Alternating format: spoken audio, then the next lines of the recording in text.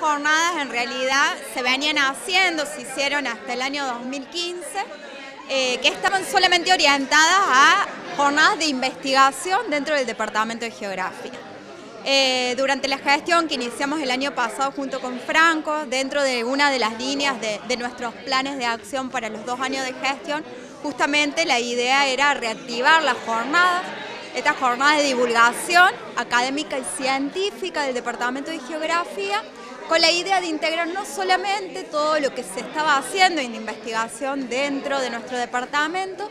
sino también eh, todo lo que se produce en términos de extensión y docencia.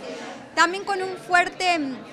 ímpetu en generar articulaciones con otras universidades y también con el nivel secundario. Así que bueno, en el marco de esto es que, que surge la idea de reactivar estas primeras jornadas de divulgación académica científica.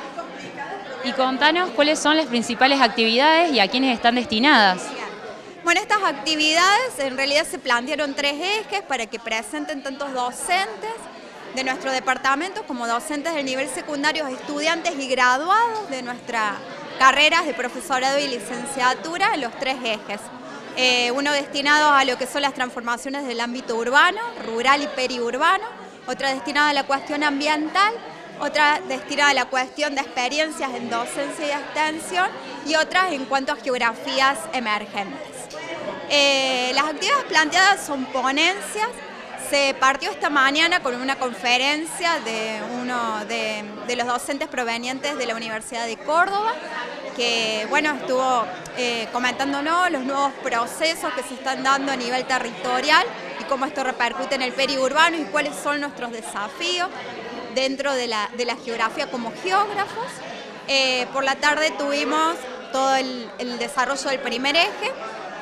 y cerramos con el libro, la presentación del libro del doctor Ricardo Agüero, que fue docente de, nuestra institución, que se jubiló hace, bueno, en el 2014. Y seguimos mañana con las ponencias y culminamos con el cierre de una conferencia que estoy a cargo, eh, destinada a eh, la temática del ordenamiento territorial desde un enfoque renovador y nuestro rol como geógrafos en esas instancias de decisión.